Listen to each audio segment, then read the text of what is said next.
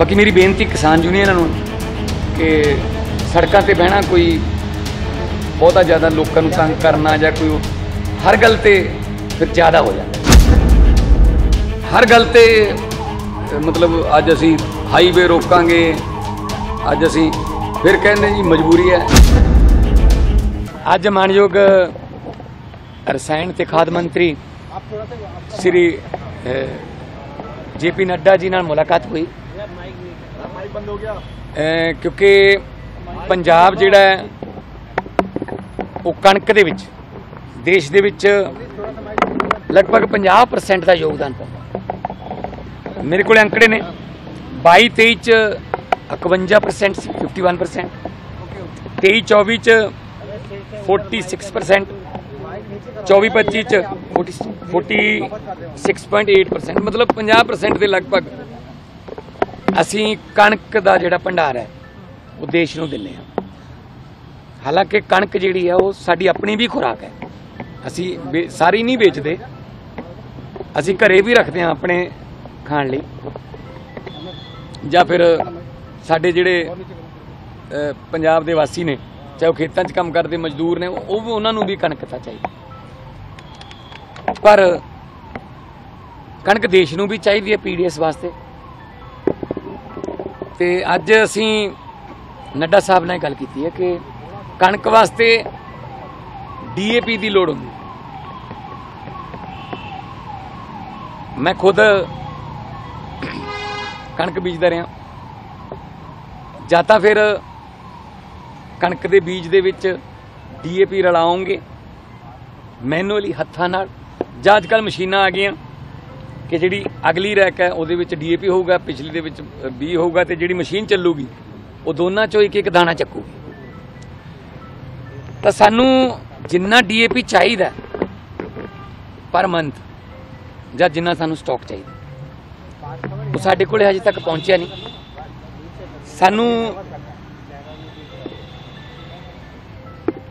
4 lakh 80 lakh metric ton ਚਾਹੀਦਾ ਜਿਸ ਚੋਂ 3 ਲੱਖ 30 ਸਾਡੇ ਕੋਲੇ ਪਹੁੰਚ ਗਿਆ। 1.5 ਲੱਖ ਦਾ ਗੈਪ ਹੈ। ਮੰਤਰੀ ਸਾਹਿਬ ਨਾਲ ਗੱਲ ਕੀਤੀ ਕਿ ਉਹ 1.5 ਲੱਖ ਵੀ ਸਾਨੂੰ ਜਲਦੀ ਦੇ ਦਿਓ। ਇਸ ਤੋਂ ਪਹਿਲਾਂ ਵੀ ਮੈਂ ਮੰਤਰੀ ਸਾਹਿਬ ਨਾਲ ਕਾਫੀ ਦੇਰ ਪਹਿਲਾਂ ਗੱਲ ਕੀਤੀ ਸੀ। ਉਹਦੇ ਕਰਕੇ ਮੇਰੇ ਕੋਲੇ ਅੰਕੜਾ ਪਰ ਡੇ ਦਾ ਵੀ ਹੈ ਕਿ ਹਰ ਰੋਜ਼ ਸਾਡੇ ਕੋਲੇ ਕਿੰਨਾ ਆਉਂਦਾ ਤਾਂ ਮੰਤਰੀ ਸਾਹਿਬ ਨੇ ਵੀ ਦੱਸਿਆ, ਉਹਨਾਂ ਦੇ ਅਫਸਰਾਂ ਨੇ ਦੱਸਿਆ ਪੋਜ਼ਿਟਿਵ ਮਾਹੌਲ 'ਚ ਗੱਲ ਹੋਈ ਹੈ। 70% ਡੀਏਪੀ ਆਪਣਾ ਦੇਸ਼ ਜਿਹੜਾ ਉਹ ਇੰਪੋਰਟ ਕਰਦਾ ਮੋਰਾਕੋ ਤੋਂ ਜੁਡਾਨ ਤੋਂ, ਸਾਊਦੀ ਅਰਬ ਤੋਂ, ਰਸ਼ੀਆ ਤੋਂ, ਚਾਈਨਾ ਤੋਂ।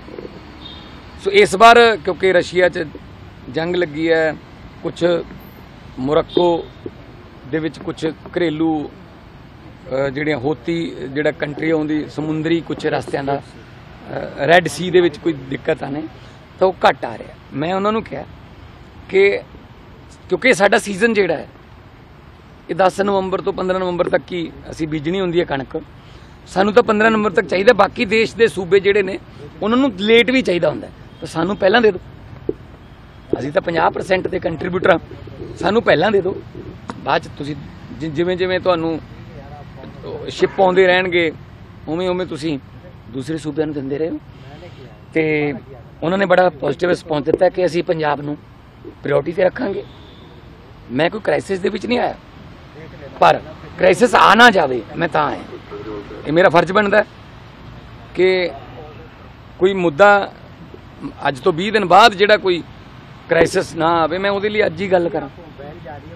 ਤੇ ਮੈਨੂੰ ਉਮੀਦ ਹੈ ਕਿ ਆਉਣ ਵਾਲੇ ਦਿਨਾਂ ਦੇ ਵਿੱਚ, ਹਾਲਾਂਕਿ ਦੀਵਾਲੀ ਹੈ ਵਿਸ਼ਕਰਮਾ ਡੇ ਹੈ ਕੁਝ ਲੇਬਰ ਵੀ ਛੁੱਟੀ ਤੇ ਜਾਊਗੀ ਪਰ ਅਸੀਂ ਕਿਹਾ ਵੀ ਸਾਨੂੰ ਜਿੰਨੀਆਂ ਸਾਨੂੰ ਪਰ ਡੇ ਟ੍ਰੇਨਸ ਚਾਹੀਦੀਆਂ ਨੇ ਯੂ ਆਪਣਾ ਡੀਏਪੀ ਦੀਆਂ ਉਹ ਸਾਨੂੰ ਦਿਓ। ਤੇ ਉਹਨਾਂ ਨੇ ਭਰੋਸਾ ਦਿੱਤਾ ਕਿ ਮੈਕਸਿਮਮ ਜਿਹੜਾ ਸਟਾਕ ਸਾਡੇ ਕੋਲ ਪਿਆ ਉਹ ਪੰਜਾਬ ਨੂੰ ਦਿੱਤਾ ਜਾਊ ਕੁਝ ਸੈਂਪਲ ਵੀ ਫੇਲ ਹੋਈ ਸੀ ਉਹ ਵੀ ਉਹ ਤਾਂ ਚੌਲਾਂ ਦੇ ਨੇ। ਇਹ ਡੀਏਪੀ ਤੇ ਜਿਹੜਾ ਹੋਇਆ ਸੀ। ਨਹੀਂ ਸੋ। ਬਾਕੀ ਪ੍ਰੋਕਿਉਰਮੈਂਟ ਦੀ ਗੱਲ ਅੱਜ ਕੱਲ ਸਾਡੀ 3.5 ਲੱਖ ਲਗਭਗ 3.5 ਲੱਖ ਮੀਟ੍ਰਿਕ ਟਨ ਦੀ ਪ੍ਰੋਕਿਉਰਮੈਂਟ ਹੋਈ ਸੀ। ਅੱਜ 4 ਕ੍ਰਾਸ ਕਰ ਜੂਗੀ ਜੋ ਲਿਫਟਿੰਗ ਹੈ। ਤੇ ਕੋਈ ਇਦਾਂ ਦੀ ਗੱਲ ਨਹੀਂ।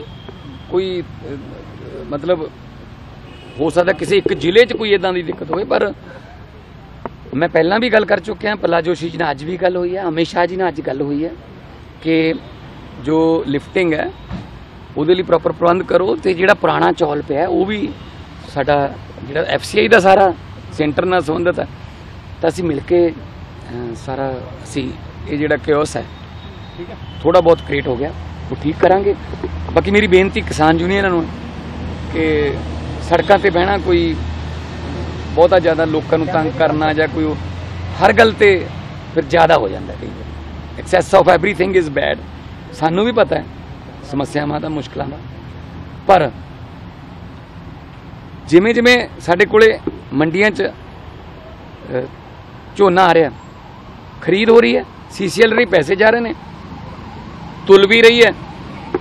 ਆੜਤੀਆਂ ਦੀਆਂ ਸਮੱਸਿਆਵਾਂ ਹੱਲ ਨੇ। ਕੱਲੇ ਸ਼ੈਲਰਾਂ ਦੀ ਪ੍ਰੋਬਲਮ ਹੈ, ਉਹ ਸੈਂਟਰ ਨਾਲ ਹੈ। ਤੇ ਹਰ ਗੱਲ ਤੇ ਮਤਲਬ ਅੱਜ ਅਸੀਂ ਹਾਈਵੇ ਰੋਕਾਂਗੇ, ਅੱਜ ਅਸੀਂ ਫਿਰ ਕਹਿੰਦੇ ਜੀ ਮਜਬੂਰੀ ਹੈ ਐਦਾਂ ਨਾ ਕਰੋ। ਅਜੀ ਇੱਕ ਸਵਾਲ ਕੀ ਸੈਲਰ